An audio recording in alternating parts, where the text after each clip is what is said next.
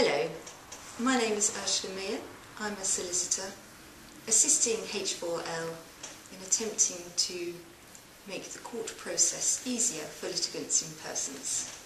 I qualified in 2008 and specialise in private family law and general civil litigation.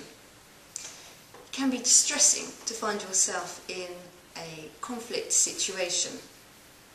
Such situations often lead to feelings of anger and a sense of unfairness. And it is natural, therefore, to seek justice via the courts. This is often a costly business, even as a litigant in person, and is time consuming. Often litigants in persons also report that they feel intimidated and find the process rather baffling.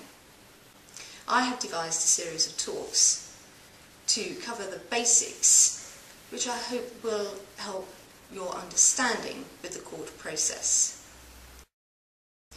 The first talk will be on pre-action, the steps you can take from the very outset of a dispute to try and settle the matter amicably. Should this prove not so, then we will also look at devising a pre-action letter of claim to be sent to the other side. The second talk will be on the claim form itself.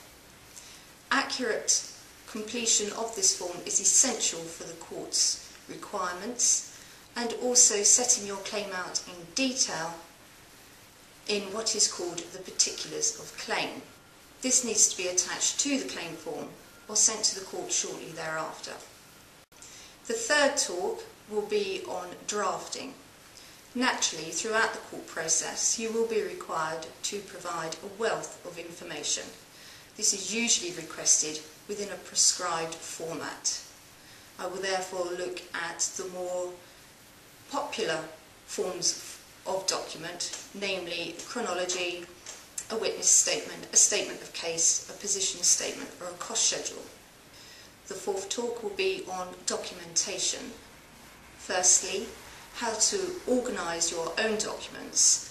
This is essential for the smooth running of your case, but also how to disclose those documents to the other side and, if necessary, request documents from the other side. The last talk will be on enforcement once the matter has finalised, should the other side not fulfil their obligations within the court order, what, if anything, can you do to enforce that order?